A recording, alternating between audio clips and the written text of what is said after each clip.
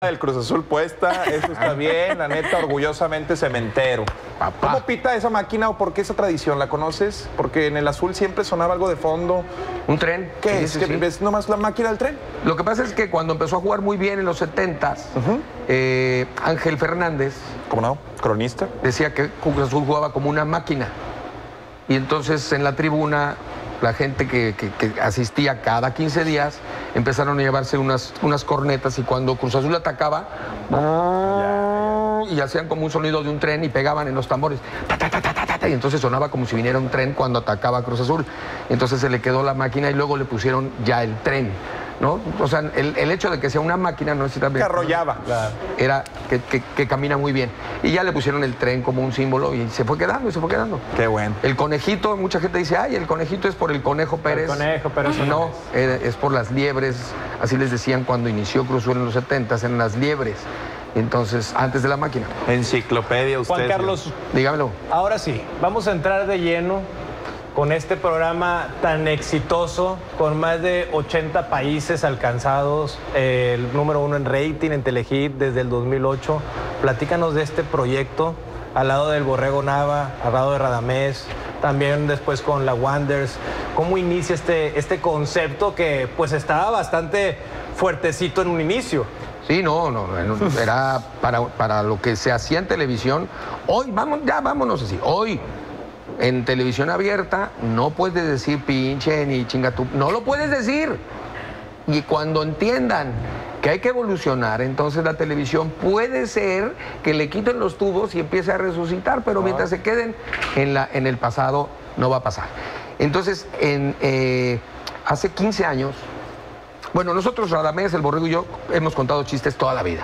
Y teníamos un equipo de actores donde jugábamos cada ocho días y nos contrataban para ir a jugar a tal, a beneficio de tal cosa, a beneficio de tal cosa. Entonces llegaban los actores y lo que se juntaba en la tribuna se le daba a los niños con cáncer, a las niñas esto, etcétera, ¿no? Muy bien. Y entonces en los camiones, cuando íbamos en, las- en los trayectos, tanto Radamés como el Borrego y yo íbamos contando chistes echando desmadre de, de cuates, ¿no?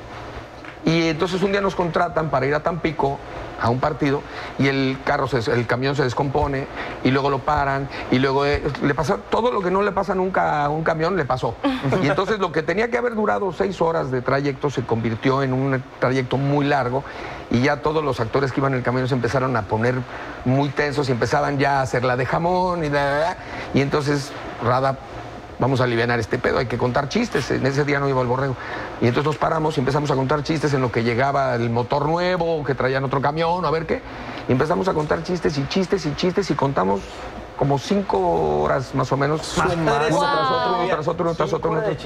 Y en ese camión iba Chao, un amigo extrañable que también estuvo- estuvimos juntos en Solo para Mujeres, y iba la que hoy es su esposa, Bel, Bel Herrero, y estaba sentada oyéndonos. Y cuando finalmente ya dejamos de contar chis- chistes, nos dijo, oigan, ¿por qué no lo hacen en serio? Yo sí pagaría un boleto por ir a, a oírlos contar chistes hasta toda madre. Y yo lo tomé a la ligera y Radamés no. Radamés se lo quedó en la cabeza. Y entonces, como un año después me habló, me dijo, oye, güey, hay ¿Te que hacer lo de los chistes, güey, hay que hacer lo de los chistes. Y nos llamaron un día de pronto al, por un programa que, Sabadazo. Sí. Y entonces fuimos y nos tocó juntos en la sección de humor y contar chistes. Y saliendo me dijo, güey, tenemos que contar chistes. La neta, yo no le creía mucho. Dije, güey, después de Solo para Mujeres, después de novelas, tú eres un actor serio, güey, de- del diario de un loco y de, de un actor de teatro bien pesado. ¿Quién nos va a creer contando chistes? El, que, el chiste de esto es que no contemos los chistes que cuenta todo el mundo. Hay que buscar en dónde contar chistes groseros, como los contamos en las fiestas y en los camiones. Ojo, qué visión, ¿eh? Güey, menos, cabrón, menos, ¿no? Claro, Hay claro. que buscarle. Y empezamos a batallarle, a batallarle. Se nos, se nos unió el Borrego Nava y entonces ahí es donde se, se- se empieza como a hacer esa maquinaria perfecta y él tiene contacto con Memo del Bosque, que es muy buen amigo suyo, él tiene Telehit, le platica de lo que estamos haciendo, nos va a ver al show, dice, bueno, pues vamos a hacer un piloto, hacemos el piloto en ¿Dónde, dónde empezaron a hacer los shows? Empezábamos en, en bares en México. Ok. Ya. Estuvimos en un lugar que se llamaba Mamabellas, que decíamos, nos contrataron, que habían 50 personas. ¿Cómo llamaba? Mamabellas. Suena, suena lindo. Suena putero, ¿no? No, ya diciendo suena lindo y todo. Suena a Copa Dama, acá Copa Dama ahí, ¿eh? Suena Pewter, ¿no? Sí, sí, sí. Pero no, era un, era un lounge de un restaurante muy, muy, muy nice. Ok. Y era un lounge que tenían ahí atrás para 50 personas y dijimos, pendejos, si no llenamos esto cada jueves, ¿no? Nunca lo llenamos, nunca, nunca lo llenamos, pero nos fue a ver gente muy importante. Claro. Y entonces, cuando nos vio Memo del Bosque, dijo, oigan, pues están muy fuertes, pero pues hay que hacer el intento. Pues nada perdemos. Nos hacemos el piloto y fue la única vez que yo vi a Memo en el foro ahí parado así y los camarógrafos estaban así como, ¿qué van a hacer estos güeyes, no? Porque no llevábamos escaleta. No había nada. no llevábamos nada. ¿Qué Tú van a hacer? van a contar chistes. ¿Cuántos, ¿Cuántos segmentos son? Tres, dale, ok, va. No, que sean dos, va. Nos cuentas y va. ¿Qué van a hacer, güey? Tú dale.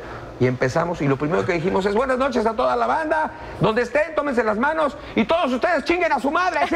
Y, y- y- y todo el mundo, ¿no? los camarógrafos, yo veía que se asomaban así como... ¿Te acuerdas ¿En cuál fue grabando. Y volteaban a ver a Memo. ¿Te "Oigan, acuerdas cuál fue tu primer chiste contado ahí? No, eh, ya con esa memoria abusando. No. Sí, pero era era un chiste muy pendejo. O sea, la verdad es que yo no, no tenía ¿Con fe qué en eso. Yo no, yo no. Y entonces se baja a empujarlo. Y en eso pasa un gringo y le dice, hello. ¿Y a ti qué te importa si no jaló? es, una, Es una mamá.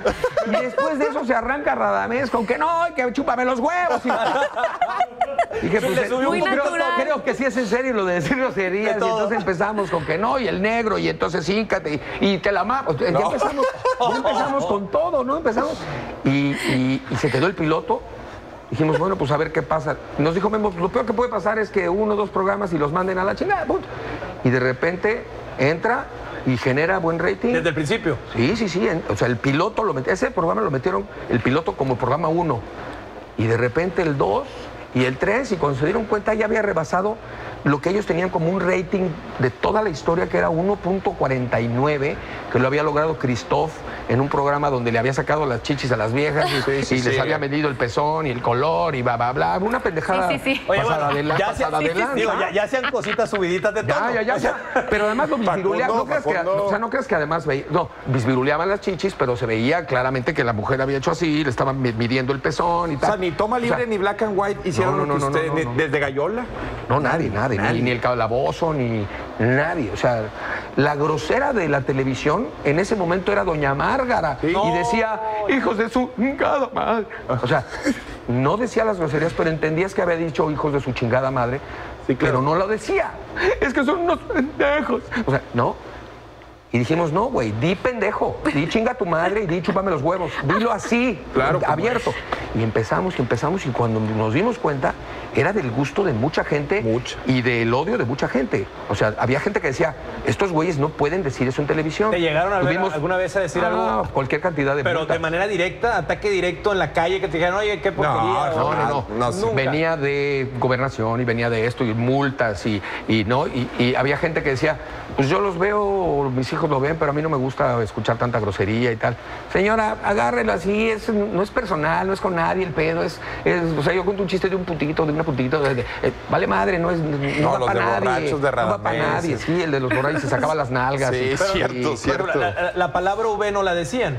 Sí, Claro, sí, sí, sí, o sea, decían, claro, nos decían, oye, ustedes disculparán. No lo vas a decir. No, sí la voy a decir. No lo digas. La voy a Se decir porque. se- no lo digas. La voy a decir. Se nos va a poner romántico el productor. La voy a decir. Señor productor, la voy, la voy a decir, ¿eh? Eh, Decir lo que quieras La voy a decir. Di lo que Pero quieras. Les decían, por favor. De esa jerga Por no. favor. Lo único, lo único que no pueden decir ustedes ni los invitados es verga. Por favor, no lo digan. Nos van a cancelar, Adrián. No, el más que Ni, un barco. ni eso, ni coger. Esas dos palabras no las digan. Por. Pues una le molesta a la gente, hay mujeres que les molesta la palabra y coger en muchos países no lo van a entender, coger en otros países es Agarrar. es agarrar Sí, sí, sí, algo, sí. entonces no las digan, no, no, no, no, no tiene caso. Entonces llega el invitado, oigan, aquí cómo está la onda, no te preocupes, aquí lo único que no puedes decir es verga y coger. Entonces, decíamos y la gente se empezó a acostumbrar. Acostúmbrense a que la verdad es la verga, tú se acabó la historia, no pasa nada. Y, y- y pum, y empezó, y empezó, y empezó. Y entonces entendió la- algunas, televisoras, algunas productoras, algunas eh, creadores de series, de películas, entendieron que la televisión estaba evolucionando y que había que cambiar el lenguaje en las campañas políticas, en las noticias, en la forma de hablar en la televisión. Lo entendieron. El que no lo entienda está muerto. Hoy está muerto. Pues a mí me vale. No, Me no, vale- no. Y hoy acabas, de- acabas de hacer que Multimedios evolucione también. Oye, ¿y cómo logran mantener esto a lo largo de tantos años? Porque a final de cuentas también chistes la misma gente se cansa. El chiste es que no eran los mismos. No repetían, exacto, fue la magia. Y los O sea, invitados. Y sí, y los invitados. Había un programa, llegaba uno y el siguiente era JJ y el siguiente era el costeño, y el siguiente era Teo González y el siguiente era Chuponcito y el siguiente era una mujer y el otro era un piloto y el otro era tal. Entonces los cambiamos y y de, de pronto eh, nos dimos cuenta del poder que tenía eh, Guerra de Chistes cuando hay un aniversario que tiene eh, MTV y hacen un, un concierto gigantesco con artistas acá, se gastaron, aquella vez, si no mal recuerdo, se gastaron creo que 8 millones de dólares en, el pro- en, en- en la producción de, esa, de ese especial que tenían de tres horas que era MTV y unas grandes estrellas. Entonces se gastan. Y, y entonces dijo Memo, vamos a robarles unos puntitos, ¿no? Vamos a ver si les robamos unos puntitos. Vamos a hacer un programa especial de tres horas. Invitamos a los mejores, a los mejores chistes, al más grosero, al más pendejo, al más escatológico, Sí, a la, la, sí, bla, y traemos a toda la banda y hacemos un desmadre aquí, les damos un premio que tenga una forma de chichi, hacemos una pendejada ahí. ¿Y cuánto nos vamos a gastar? Pues rellenen el pinche, la- lo de los, lo- lo- el confeti. Creo que se gastaron 86 pesos, un pedacito. Eso fue lo que se gastó. Entonces 86 pesos contra 8 millones de dólares o no sé cuánto fue, era una locura. Y a la hora de los chingadazos, guerra de chistes Sí, claro, 14 claro. y es que menos MTV es 8, más. ¿no? Menos Y- es más. No, y, pum, se armaron los chingadazos, hubo pedo durísimo en MTV y al año siguiente se las volvimos a hacer. Se las volvimos o a sea, ya hacer. para ellos era reto. Sí, sí, sí, sí. Qué chulada. Había retos así de, ¿a que no llenas tal lugar con estos güeyes? ¿A que sí, cabrón? Claro que sí. ¿A que no? ¿Cuánto? Pues ta- y, y órale. Y, de repente, no, pues que se van a presentar en tal lado. Va, hay que llenarlo porque pues hay una apuesta fuerte. Y nosotros, qué chingados, nosotros nos páguenos y a la chingada, ¿no? Tan. Y llegábamos, y si cabían 100, 100, si cabían 1000, 1000, si cabían 40 mil, 40. O sea, Y lo atractivo era, que locura. salían shows a raíz del programa. Eso para claro. ustedes lo hacía. ¿Alguna vez, bueno, me imagino que varias, pero alguna significativa que, que hubiera un problema entre el Borrego Nava, entre Radamés y tú? Muchos, muchos. O sea, es Guerra de Chistes funciona como una gran familia. Y las familias, los que no tienen pro. Ya, ¿Qué onda, güey? Ay, pues no, chinga tu madre, cabrón, no mames. ¿No? no estamos grabando, ¿ah? No estás Sí, en el programa, cabrón, ¿no? Cierto, Y- cierto. Y, o a él le molesta que yo les, les diga que le apaguen el aire porque a mí el aire me chinga. Y entonces, ah, pues pues, no, pues ya te chingaste porque los dos queremos aire, pues ya me chingué, cabrón. O sea, y entonces esas cosas, con el paso de los años y viéndote casi diario, Rutina, sí. llega el momento que dices, ya cabrón, se me acabó la puta paciencia. O apagas el puto aire o va a haber madrazos Como aquí. un ya, matrimonio, como un matrimonio. Claro, claro, claro. Y, y sí tuvimos problemas, hubieron separaciones en el proyecto, este, en fin, pero, pero Guerra de Chistes es tan fuerte, y de verdad lo digo con toda la honestidad del mundo, es tan fuerte que ha aguantado cualquier cantidad de madrazos, separaciones, críticas, eh, salidas, da, lo, que, lo que le hagas, lo soporta. Y ahí está. ¿Tienen registrado el nombre de ustedes o es de Telehit? Ah, se pasaron de riatas, lo registraron. Se pusieron listos. Eso era, sí, eso era de Radamés. Eso es- la idea es de Radamés y todo el concepto y el nombre es de Radamés, pero lo registró Televisa con Pero esos- mira, dijiste algo importante huevos. desde el inicio. Los que quieren ver son a ustedes, a Es final de cuentas. Son los Entonces que hacen el es, show. tan, es tan simple como, ah, que no podemos decir que somos guerra de chistes, pues digan lo mejor de guerra de chistes, te chingaste, vas, y ya, ¿no? Y entonces le hemos buscado la manera de no tener problemas con nadie, hasta que finalmente hoy ya Televisa, como decíamos hace rato, ya, ya a base de, de que ha pasado tanta cosa, como ya tiene la apertura de ya que hagan lo que quieran, güey, quien, quien, quien quiera. No Los pasa otros nada. actores van para allá, Póngale otros vienen para acá. Guerra de chichis. Sí, haz de cuenta que los programas de la mañana, ¿no? Haz de cuenta que puedes cambiar, o sea, así sucede y de repente ves un conductor acá y a la semana que entra lo ves allá y ya es un pinche carnaval. que, que- que- que- que tiene ya muy poca seriedad, entonces ya todo el mundo lo entendió. Y entonces, pues hoy grabo aquí, mañana grabo allá, mañana allá, y nadie me puede decir nada menos que me firmes un papel donde me digas que me vas a pagar un chingo de dinero para estar contigo. Si no, chinga tu madre. ¿no? ¿Qué pasa actualmente con Guerra de Chistes? Estamos esperando que reabran las, eh, el mercado en Estados Unidos, que se va a abrir más, más rápido que aquí.